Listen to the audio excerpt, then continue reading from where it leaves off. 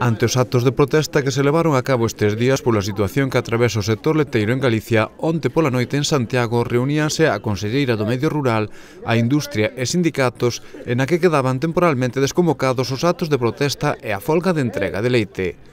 Escoitamos as declaracións da titular da Consellería do Medio Rural xusto despois das conversas. Eh, eu creo que mm, os sindicatos, eh, as organizacións profesionais e as organizacións de produtores son perfectamente conscientes do apoio da Xunta ao noso sector productor, son perfectamente conscientes de, de que dende a Xunta vamos a defender a importancia social e económica que este sector ten para Galicia e, polo tanto, dende esa confianza e dispoixa das xuntanzas que levamos mantidas ca distribución e ca industria, donde todos recoñecen eh, o valor que ten eh, este produto estrela para nós, estamos todos dispostos a traballar por defender eh, a pervivencia das nosas explotacións e creo que bueno, van a propoñer nas asambleas trasladarlle isto a, aos gandeiros en xeral e propoñer desconvocar a folga que o único que estaba valendo era tamén para afundir un pouquiño máis as nosas empresas.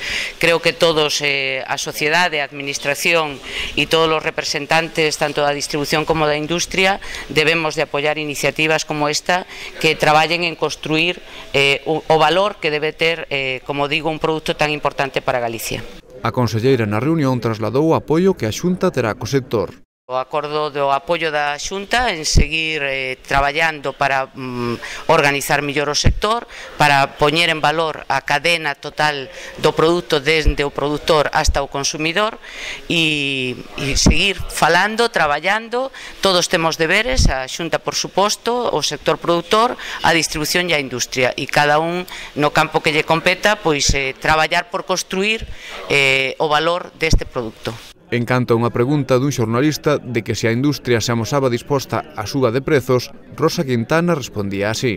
Vamos a ver, aquí non se está falando de precios, sabedes que os precios é un negocio entre un sector primario e un industrial e logo un consumidor, nos non vamos a falar nin de pactar precios, nin de poñer precios, simplemente se está falando de darlle valor a un produto tan importante, non? E polo tanto, todos entenden que nestes momentos o sector gandeiro está atravesando serias dificultades por a, o encarecemento dos costes de produción e o escaso valor que están obtendo por o recurso. Polo tanto, todos vamos a construir eh, en, en, torno a ese valor. ¿no?